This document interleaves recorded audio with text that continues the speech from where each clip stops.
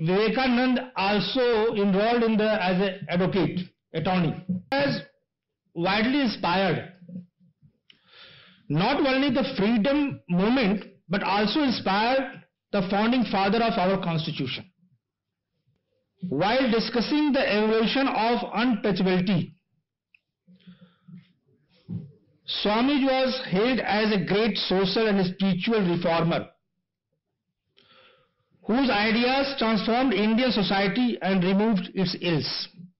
The influence of law on Swamiji, apart from him using it at times during his talks and lectures, has amazing influenced the judiciary as well. Swami Vivekananda is quoted profusely in the judgments of many Indian courts, notably the Supreme Court of India. Not only in religion, but in everything that concern man, uh, science, art, literature, history, politics, it is.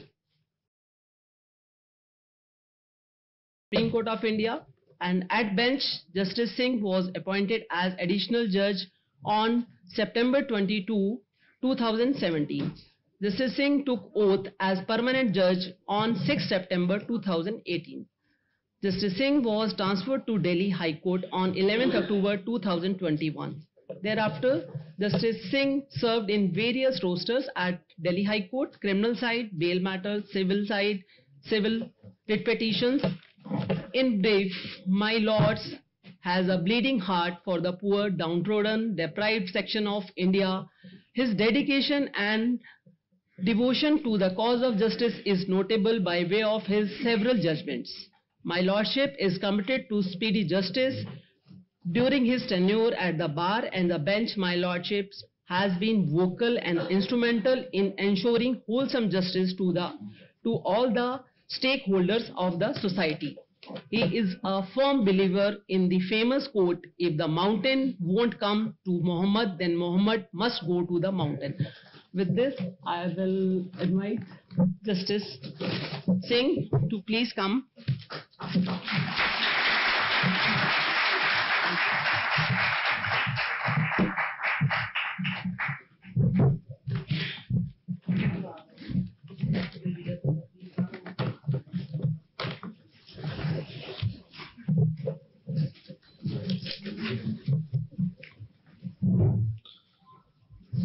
My dear friend, Mr. Chetan Sharma, learned ASG, Government of India. D Bharat ji मुझे दिखाई नहीं रहे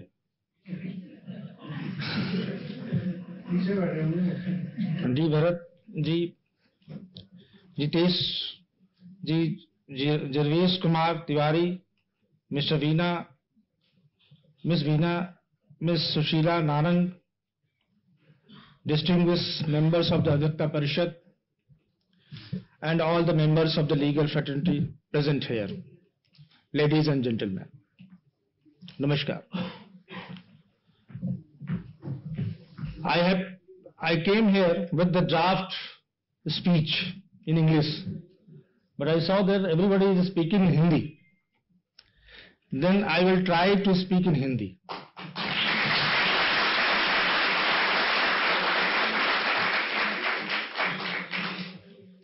नमस्कार। मैं जब इस भगवान दास road पे आता हूँ तो मैं इमोशनल हो जाता हूँ। क्योंकि यहाँ पे हमारी ज़िंदगी के तेईस साल, तेईस चौबीस साल हमने यहाँ बिताए। और मैं धन्यवाद देना चाहता हूँ अधिवक्ता परिषद का कि इन्होंने मुझे बुलाया और इसी बहाने फिर मैं इस जगह आया।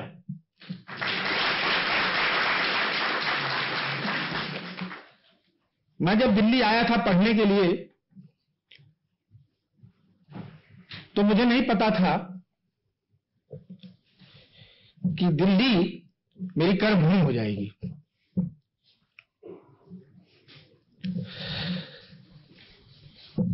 मैंने लॉ किया यहाँ से।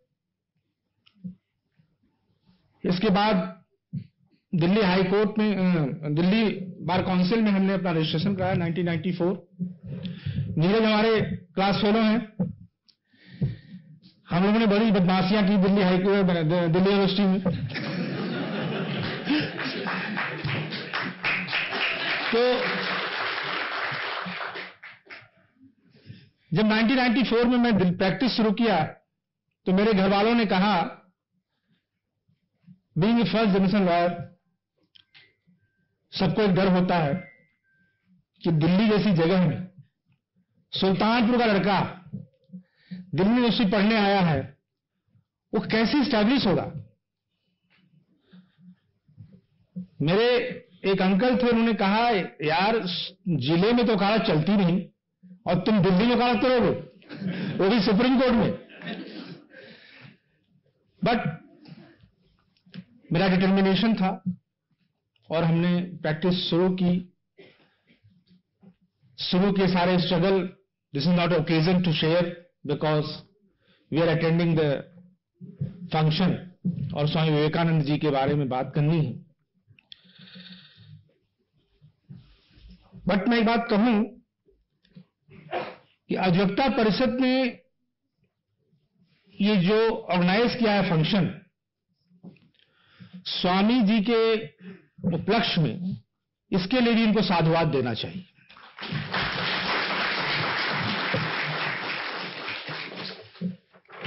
स्वामी विवेकानंद जी भी वकीलों की परिवार में पैदा हुए। हमारी तरफ़ फ़र्स्ट जनरेशन लॉयर नहीं थे, मैंने फ़र्स्ट जनरेशन नहीं थे। उनके जो great grandfather Mohan Datta was managing clerk and associate of an English solicitor. So that is that is connection. इसके बाद इनके grandfather Durga Prasad became a partner of his father. Please forgive me. I will Hindi and English both are English, yes. In his legal profession, and Swami ji's father was an attorney in one partnership firm. तो स्वामी जी का background legal background था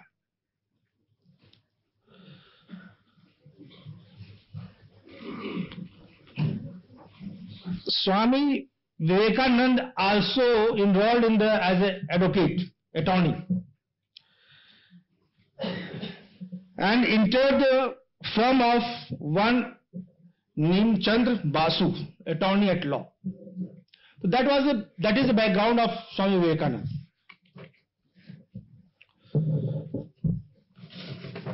Swamiji has widely inspired not only the freedom movement but also inspired the founding father of our constitution.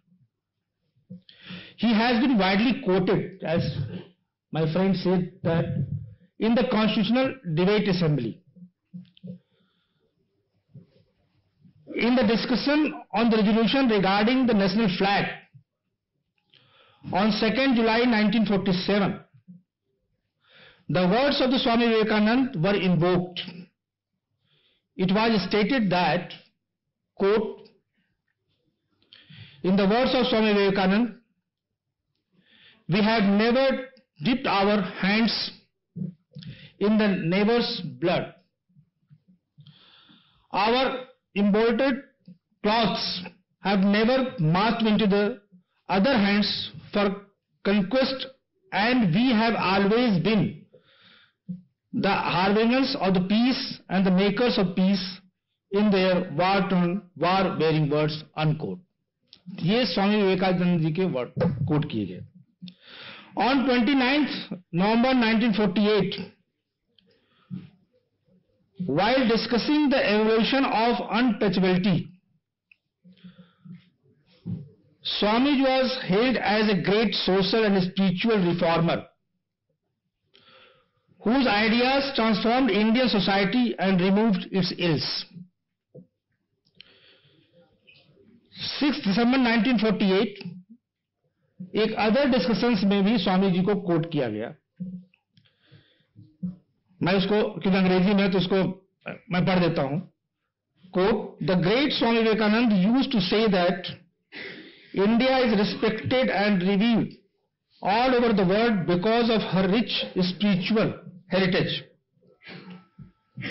the western world strong with all the strength of materialistic citizen uh, civilization, rich which the acquisition of science having a dominating position in the world is poor today because of its utter lack of spiritual treasure and her does Indian step in.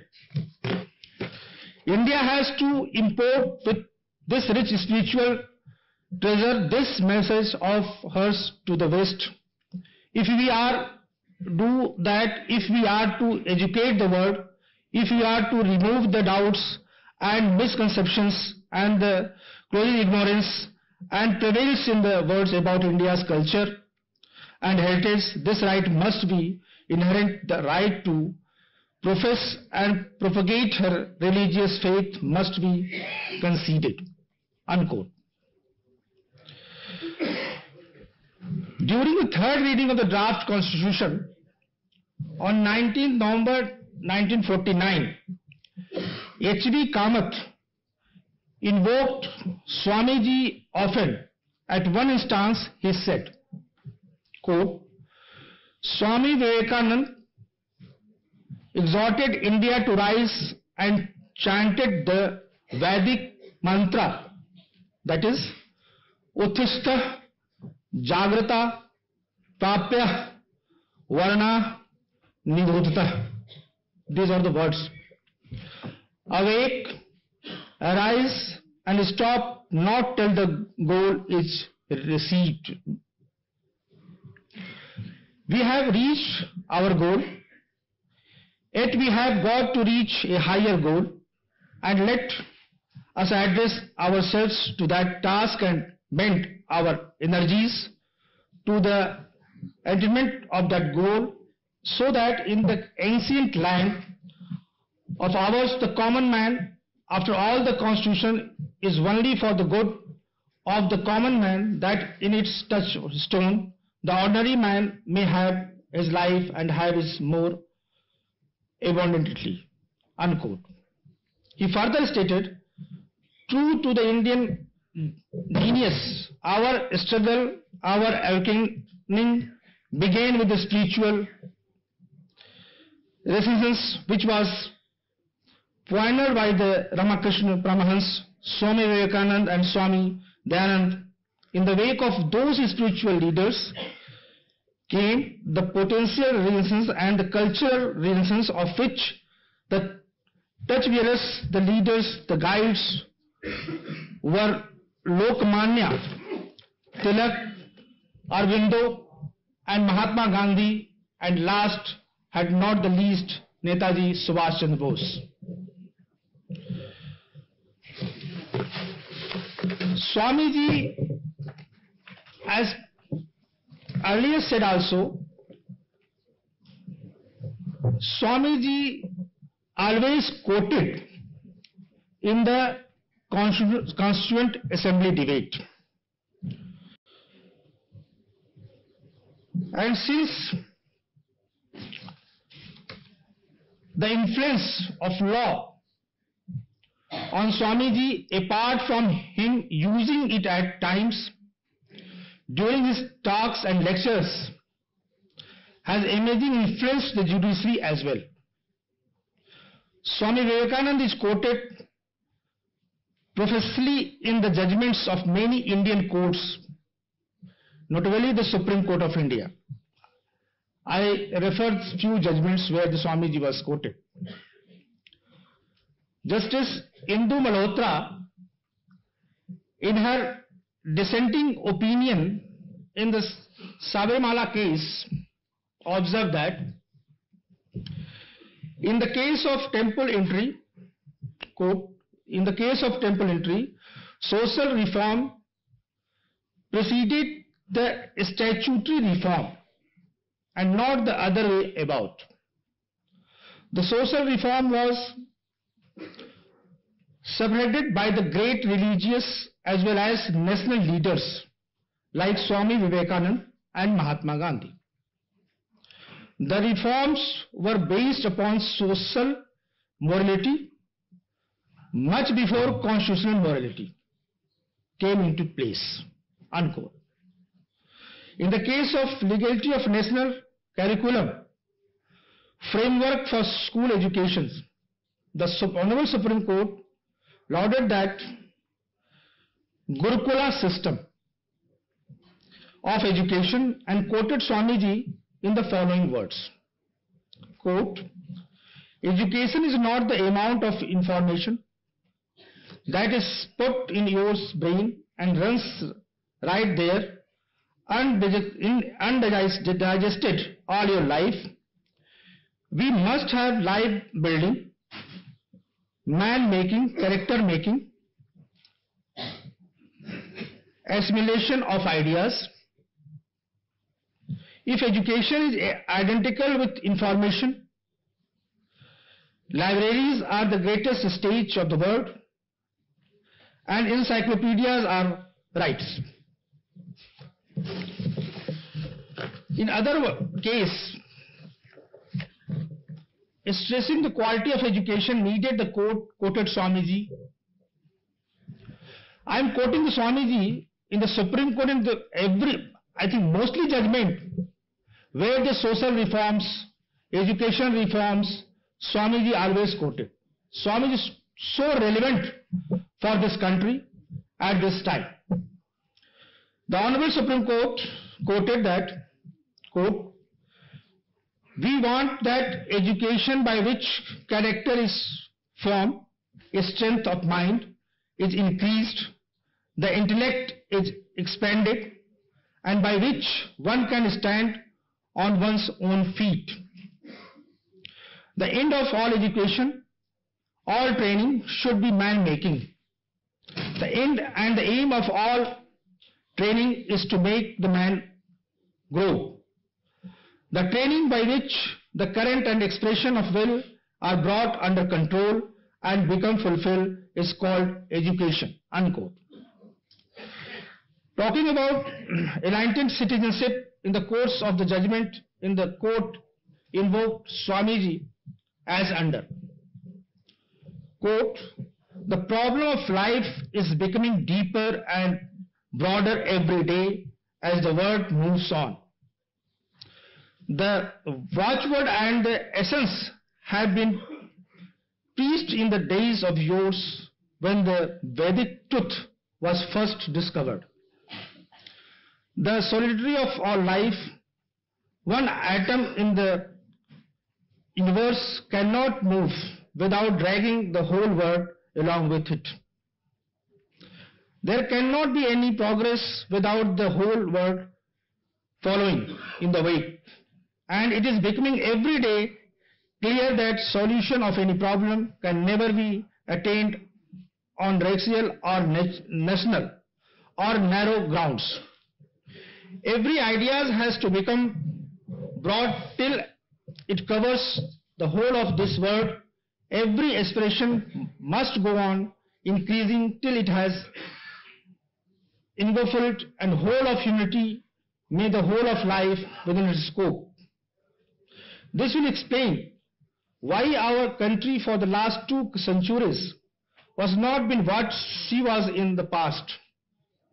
We find that one of the causes which led to this degenerations was the narrowing our own views, narrowing the scope of our actions. Unquote. In the case of the famous case of the Supreme Court, in the demolition of the Babri Masjid in Ayodhya, the court relied on Swamiji. Defini definition of the religion and stated as under. Swami Vivekananda said, religion is not a doctrine in dogmas or in intellectual argumentation. It is being and becoming. It is realization. Unquote. While explaining Hinduism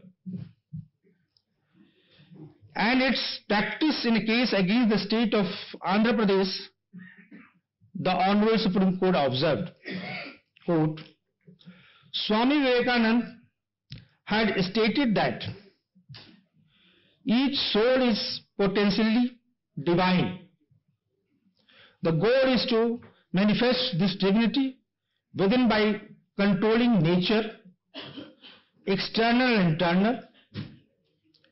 Do this either by work or worship or physic control or philosophy by one or more or all of these and be free. This is the whole of religion, doctrines of dogmas or rituals or books or temples or forms are but sec- secondary details. Unquote. In case of relating to the petition of forfeiture of the books on the grounds that it may hurt the feeling of Hindus, the court opined. Quote, what offends a primitive people may be laughable for progressive communities. What is outrageous hearsay for one religion or sect or country or time may be untouchably holy for another. Some primitive people may still be outraged by the admonition of Swami Vivekananda. Quote, our religion is in the kitchen. Our religion is in the kitchen. Our God is in cooking pot. And our religion is don't touch me. I am holy. Unquote.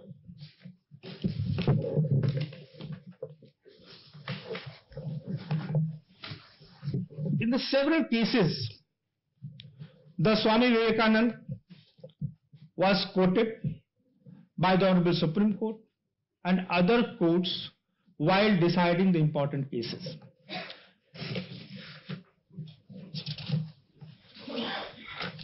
Swami Vivekananda was interested not only in religion but in everything that concerned man, uh, science, art, literature, history, politics, etc. He gave much thought to elevating India's problems such as poverty, illiteracy, casteism, exploitation, and so on. His luminous mind found solutions that are as valid today as they were more than a century ago. On 14th February 1897, Swami exhorted India's for the next 50 years, this alone shall be one, our keynote, this our great mother India. His utterance proved to be prophetic 50 years later. India became free. Today he is guiding us as a voice without a form, with his mantra of be and make. For the nation to prosper, the executive, parliament, and judiciary should function smoothly and in the interest of the nation. Our constitution is a leading document and has stood the test of the time. Any time frame? No, no. Our constitution is living document that has stood the test of the time, coming to the recourse of the citizens routinely as well as in the trying times. The constitutional courts, by way of their interpretations, and the members of the legal fraternity have helped ensure that the letter and spirit of the provisions are brought into effect in the best interest of the citi- citizenry and the society at large. We as a nation have made marvelous strides in our journey in the various areas. Our pacing rapidly towards achieving our position as a Vishwaguru. However, there are several areas where a lot of work remains to be undertaken. As a people-centric welfare state, the Indian democracy needs to follow the Chanakya dictum. Praja sukhe sukham ragya, prajam tu hite hitam. Meaning thereby, in the well-being of the people lies in the welfare of the state and the happiness of the people is the prosperity of the state. The Indian polity must remain rooted in the fundamental doctrine and work for increasing ease of living and manifesting the aspirations and capabilities of the Indian population. The motto of now the, I, I want to say something about Adhivakta Parishad also. Because you people invited me, then I'm.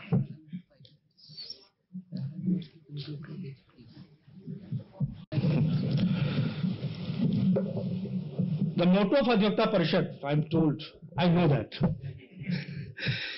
is Nyaya Mam Dharma.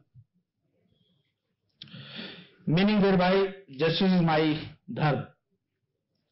Ensuring justice to the last person in the society is the motto of the organization.